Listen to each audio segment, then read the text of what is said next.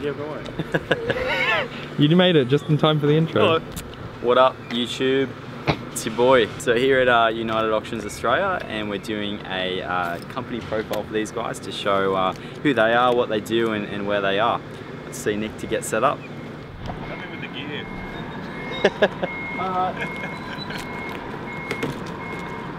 Um, Yeah. So they're going to have the auction box sort of in the background a little bit, and they're, Okay. gonna, and they're setting up cars sort of behind them. Cool, cool. So Okay. they'll be the auction box and the cars in the background. So we were commenting before how you played a dangerous game.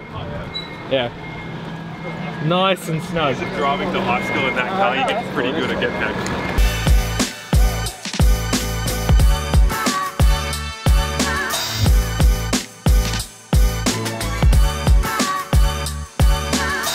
Setting up for an interview. Um, we're just we've used Samara as a as a model, so we can test out some lighting. We're going to need some strong and very diffuse light because a lot of different light sources, like the skylights and the lights, making a lot of different weird shadows. So we need to basically block that out in a smooth way.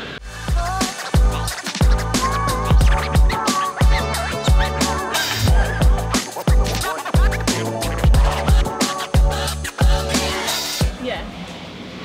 Um, try that way for us. Yep. Yeah, we could have the roller shot. Does that help? Yeah. Yeah. Get a bit of both. Hell, it's a bit too much. I might put a bit Yeah. on there. Ah, there we go. Alright. Ready to roll. Hold on, jump back in for me. Ah. Ready when you are, mate. Bill. All right. Cameras rolling. Awesome.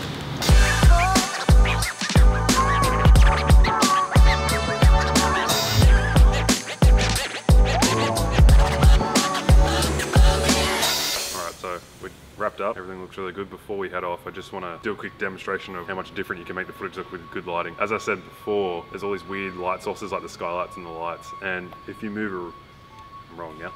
If you move around, your head around Smith, there's kind of some weird shadows all over, all yeah, over the just face. some really Yep. old And lighting. If I turn these on, no, that's one. Oh, I one. think Jake had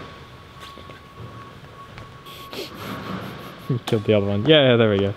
There we go. The magic of editing. So now Okay. you can see if you sort of move your head around a bit, it's a, it's a lot more even Yeah. across, across your face. If you have a really strong light with a big diffuser, with a big diffuser, it makes a really big soft light source, and that's why on your face is all nice and smooth, and then got a light over there just to light up the back of your head. Just a little, little sheen. Yeah.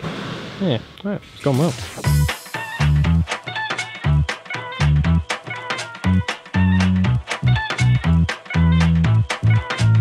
Howdy. We're here at the uh, Newcastle Racecourse. Lots of beautiful dresses, hats, and whatnot. It's a no, all right day. 30 degrees. Yeah, how many days are are we into spring at this point? Two, three. Actually, it's probably not. It's been like two weeks. Yeah, But it's still hotter than it has any right to be. we're, we're not meant to live here. No. it's the uh, the country equivalent of a hot rock restaurant. They bring it out and they're like, "Yeah, don't touch it. It's pretty hot." And we're like, "Oh." So anyway, so, so so what are we doing today? So we're filming for uh, Group One Feeds, who make delicious food for racehorses Mm. and other prestige champion purebred horses. So we're here getting some happy people, some happy horses. We're shooting it with the the ProRes on the Shogun because Sweet. why not? Mm, got some high quality up in here.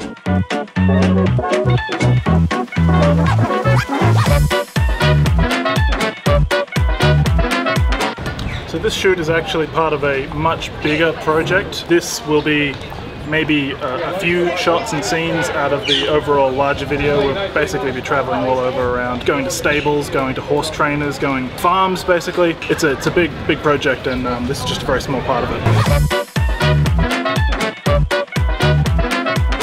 So we're uh, sneaking some crowd shots with the uh, 70 to 200. Yep, basically. So with, with this setup, because it's uh, pretty bulky, it's not run and gun, it's more of lie in wait. It's very hunter-esque. We wait, wait for someone to come past and then we grab the shot.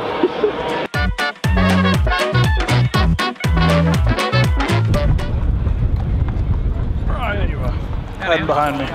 Sure am. Got the shots.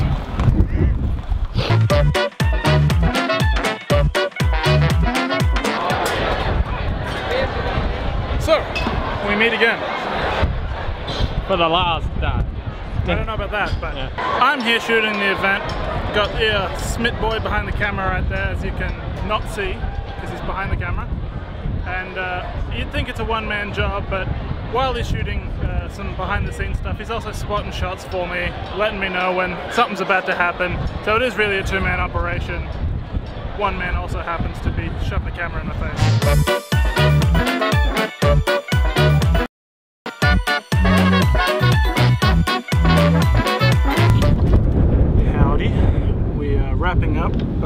Part of the shoot. We'll be back tonight at about 6 o'clock at the Trots. Um, I don't know what more to say. Come here. Go. Alright, we're now here at the Harness Club, a little bit further away than the racecourse, and we're shooting horses. More horses. Um, this one is going to be a little interesting because that vehicle over there, if you can see, has a cabin in it, and uh, I'm going to be shooting out the back of that. So, Good fun. Let's see how that goes. yeah, That's exciting. So we need a smaller one because we're you're going to be in quite a compact space. yeah. but also the, the screw size is different. Oh really? Yeah. Ah, so we've got to mount it up there. Fun.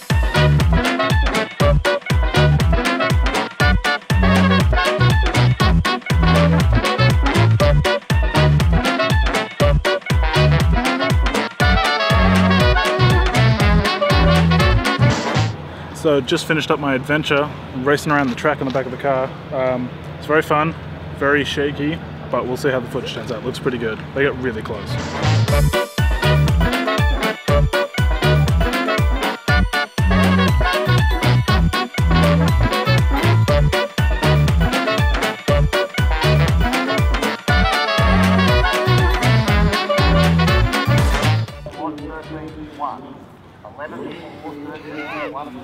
Hey man!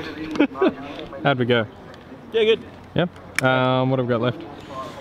I think um, they'll probably shoot one more race, not from the back, just along here. Mm-hmm. Um, and then maybe we'll find a horsey to eat a treat, Sweet.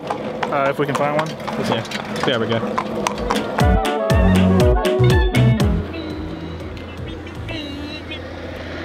Oh, oh, hey, hey, uh, so we're done. I'm a professional. Catch you later.